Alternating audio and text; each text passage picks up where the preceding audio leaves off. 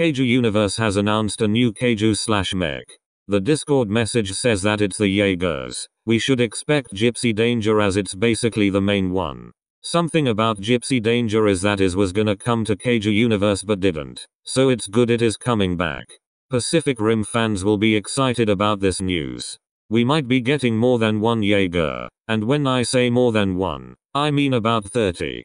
Kaiju Universe might just add the main ones. The message also states that it determines the Kaiju sizes, the cages that are in Pacific Rim. That's it for this video.